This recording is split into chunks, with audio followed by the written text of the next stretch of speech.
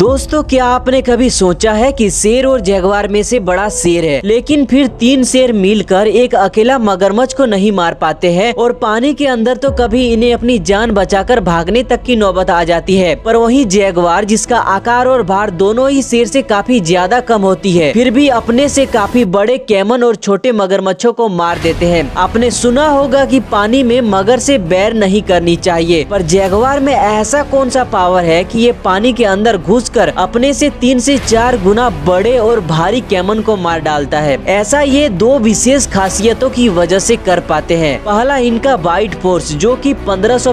है जिससे यह एक मगरमच्छ के खोपड़ी को भी चूरमा बना सकते हैं और दूसरा इनकी शिकारी तकनीक जयगवार जानता है कि मगरमच्छ और कैमन का सबसे कमजोर जगह कौन सा है गर्दन और खोपड़ी के बीच पर जहाँ पर दांत लगाते ही मगरमच्छ तुरंत पेरालाइज हो जाते हैं